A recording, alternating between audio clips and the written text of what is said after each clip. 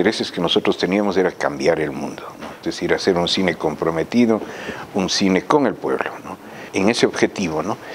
tuvo mucha fuerza ¿no? el cine de Jorge Sanginés. Jorge Sanginés es un realizador boliviano, ¿no? sin duda alguna fue el primer realizador latinoamericano en trabajar con actores no profesionales indígenas, sobre todo aymaras y quichuas en Bolivia, luego quichuas también en Perú ¿no? y en Ecuador también quichuas. Compañeros, los que hemos hecho esta película deseamos humildemente que sea útil al pueblo.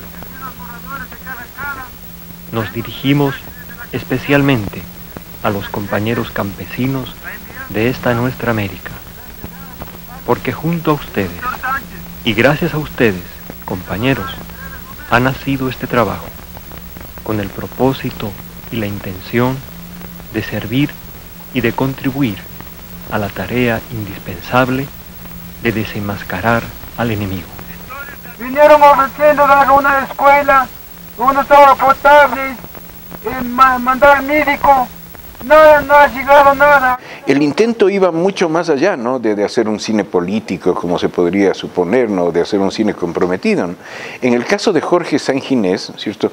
Se trataba también de cambiar el, el, concepto del cine, es decir, de cambiar el lenguaje cinematográfico, es decir, en el lenguaje de cámara, ¿no? Tú vas a encontrar muy pocos primeros planos, ¿no? Porque en el mundo indígena, ¿no es cierto?, la visión es de conjunto, la visión es comunitaria, ¿no es cierto? Eh, igualmente, ¿verdad?, el relato, ¿no? El relato es colectivo, ¿no? Es decir, son una serie de, elementos que Jorge desarrolló en un libro suyo que se llama El cine junto al pueblo, ¿no? Eh, y creo que es un hito verdaderamente importante en la cinematografía latinoamericana.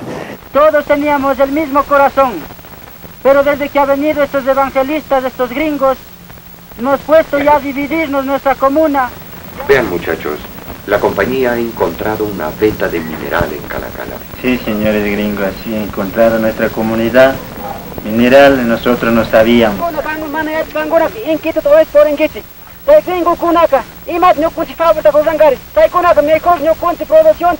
Su cine tuvo en verdad una influencia decisiva en, la organización, sobre todo de los movimientos indígenas. En el Ecuador fue clave, absolutamente clave, hacer que la cámara se transforme en un fusil.